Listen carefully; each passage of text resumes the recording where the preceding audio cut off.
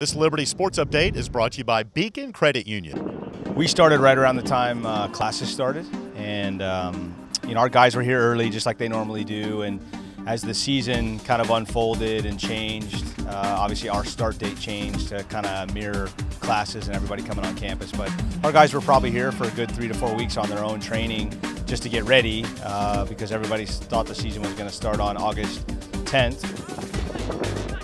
Our administration did a really good job of communicating clearly to us as coaching staff. Um, so I felt like I really had a good handle on what was going to happen.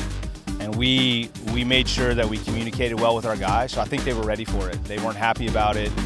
Um, obviously, it's not good news, uh, but I think that they were ready. And then we had talked a lot about just being ready for anything, just kind of roll with the punches. And you know, the best case scenario is we get to play a season. The worst case scenario is we, at least we get to train, which all the guys were dying to do anyway.